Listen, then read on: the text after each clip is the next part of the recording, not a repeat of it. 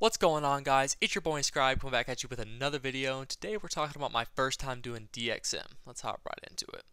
So this happened about a year ago, probably May, June 2022 and I didn't know a lot about DXM. I mean I just started smoking at this point but I heard a little bit about DXM but I didn't know a lot about the effects or you know how to take it or whatever. But I heard about triple C's, so uh, that really intrigued me, and it's something I definitely wanted to try. So one day after work, I skirted over to Walmart, and I was picking up some other stuff, so I was like, maybe I should go to the cold aisle.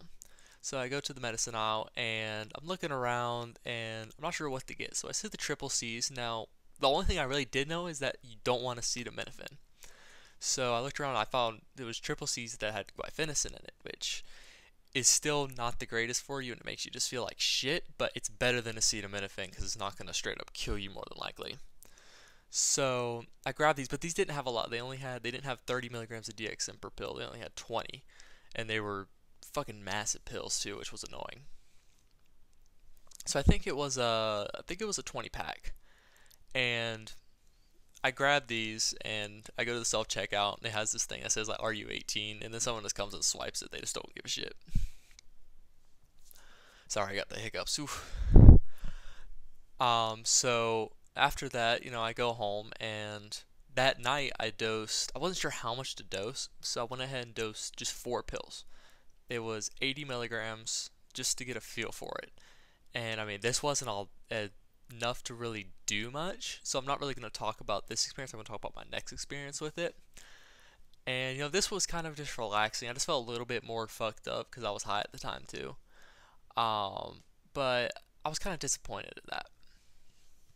So I decide next time I'm just going to take all the rest 16 of them.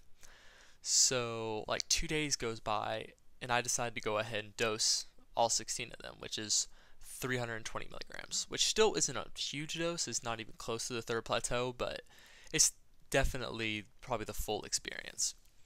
So, you know, that comes and after work, I dose and I'm just chilling and I'm not really feeling anything yet. And then my friend texts me and she was like, yo, pull up. And I was like, where? And I was like, over by the gym.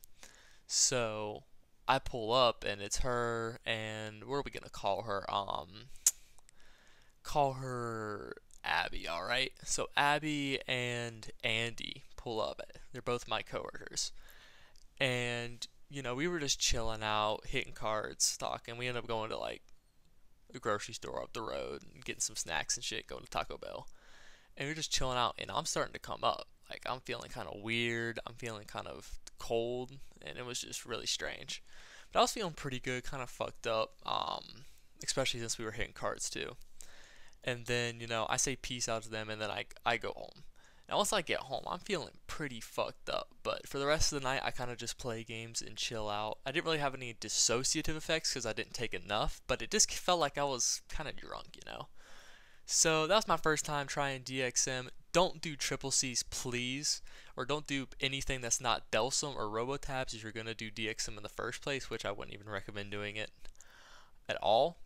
But yeah, Hopefully I'll have another video out soon. Peace out.